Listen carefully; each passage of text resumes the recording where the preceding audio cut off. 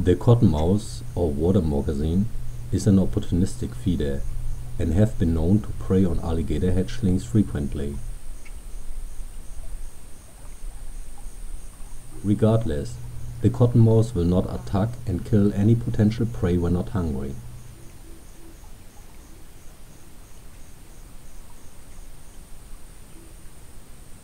The alligator hatchlings don't even sense any danger and simply passing a formidable predator.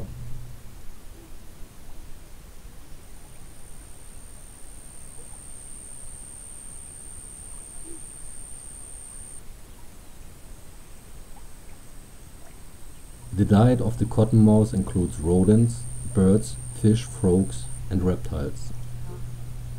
These snakes do not hesitate to prey on the dangerous rattlesnake and even their own kind. Cannibalism is a frequent occurrence between these species.